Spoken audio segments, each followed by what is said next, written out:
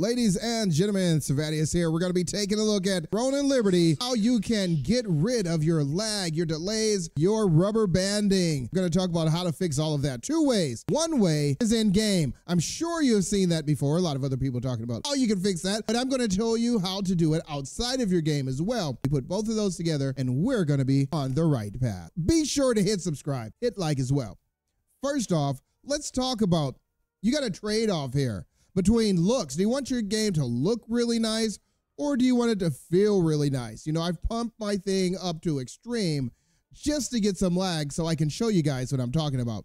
All right, so let's say we're playing the game. We're having a nice time. Oh, I don't have lag. I push it to extreme, but we saw just a little bit of a delay there when I transformed. And when I'm like looking around, we might find a little bit of hesitance. So for normal PvE, that might be fine. A second or two delay isn't really going to hurt you too much.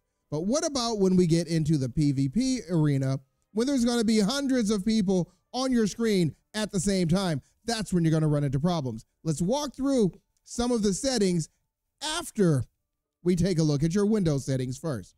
Okay, first thing we're going to do is jump into our Windows settings. Now, this is outside of the game, inside of Windows. What do you notice here?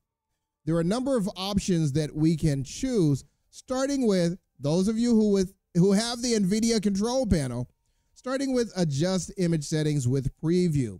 This allows you to just set your entire computer for a certain level of crispness, clarity, and quality on your graphics. So for gaming, if you're having performance issues, if you're not, guys, don't even worry about this. But if you are, just use your preference and slide that thing over to performance. Now you notice the edges are a little bit more jaggy now on performance. We move this up to quality and you got some crisp, sharp edges, which is probably what's giving some of the people out there some lag, some hesitancy, and just a little mushy feel to their controls. All right, so we're gonna go ahead and select that. We hit apply, and now you, the next time you start your computer, should be enjoying a little bit of a smoother ride there. So drop me a comment below if that took care of everything you need right there. But if not, no worry. Let's follow along to the second step.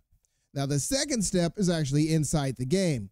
We want to go to your menu, and from there, let's go to settings. I'm sure you've seen a thousand videos covering this before, but we're going to look at it from a little bit of a different angle. The first thing I do is we scroll down here and we find the setting about quality. Yeah, that's what it's set for now, but we want to change that to ultra performance. And you just notice the background slightly shifted and some changes immediately happened. Now I'm looking around and it's actually a little bit smoother. That's nice. I can actually run now. I'm not getting the little lag that I was before. It's kind of instantaneous response. Now you might be wondering, why is it blurry when you're turning? Because that's an option in the game. You can actually set motion blur. Okay, so we're getting actually a little bit better now, but I still, the controls feel a little bit spongy. So what am I gonna do? Probably what you should have done in the first place.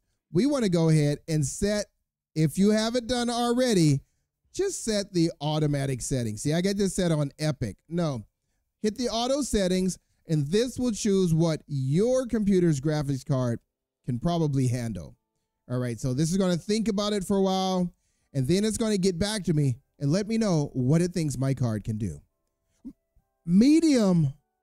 Oh my, I can only do medium. You know what? Before it could actually do a little bit higher, but there are reasons why you might test your computer once and you get a high, you might test it again. It might do a medium because now I have multiple things open, including the recording app that I'm using right now. So it's dropped it down just a little bit lower. All right, so those of you who are running PvP content or recording your dungeons, keep in mind that you have to lower your settings down when you're doing that as well. But now let's jump in and find some things that are immediately going to give us some better feel. You change that quality, your other settings has been changed as well. Yeah, this is quality. This is quality also. A little bit confusing. So once you go to the auto settings, go back to screen and put ultra performance on there. Frame generation, you do not want. So what this is going to do is your computer is just going to create some artificial frames to put in between your other frames just to make it look smoother for you. And it's going to tax your computer and do just a little bit more work. Now we can close those and take a look at this. My, my handling is so much better now.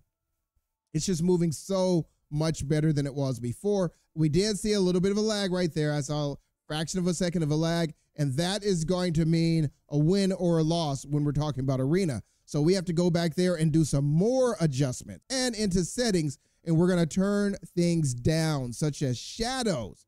Shadows take a lot of resources. So does anti-aliasing. And aliasing is like jagged edges. You want to get rid of jagged edges?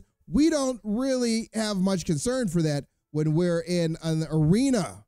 Give me a jagged edge, but don't let me lose the arena. View distance, how far away can you see the enemies, and how many characters can you see on the screen at once? When you're in a large scale PvP, do you want to see 200 characters and get one frame per second, or do you want to just see less characters? Yeah, let's go ahead and do that. The shader quality of the characters, shadow, turn the shadows off immediately. That's going to give you so much more speed. Texture quality is what we're looking at, the, our character. We want it to look nice. We want to see those nice textures. So you can actually save that for last. But most importantly, turn off your textures. Uh, this filter is going to make just a little bit. We don't really care about seeing vegetables while we're in PvP or while we're out in the open world and we might just run into some event where we want to get the highest DPS we can. Are you concerned about what the potatoes look like at that time? No. This is the motion blur we talked about. I was moving right or left. People were like, hey, why is your screen like doing that's the motion blur. Let's go ahead and turn down the object details a little bit. Shadows eat so much. So does lighting. And once again, just the over general, when you when you're looking at field of potato, do you want those fields to be high resolution? Probably not. We don't really want to see clouds while we're out there. Preloading shaders, we can keep this on high. So basically everything we've selected above can be loaded into your system and ready to go. So that's why more memory you have is more better. So we can actually throw that stuff in there. And there's some slight optimizations it has, turning things on and off so when you're doing people, oh my God, this is so much smoother. Go ahead and follow along with these steps, the ones inside of Windows and the ones inside of game, and you will be enjoying life so much better. Oh, this is just simply amazing. Hello, traveler. Was that amazing? Uh, just needed to know where they should go. So follow these steps. Let me know if it worked for you because it's worked for me. We saw the results instantly right here. So for now, do you know what I'm going to do? I'm going to hop in and I'm going to actually do some dailies. And I think you should too. Drop me a comment below. This is Savadious and I'm signing out.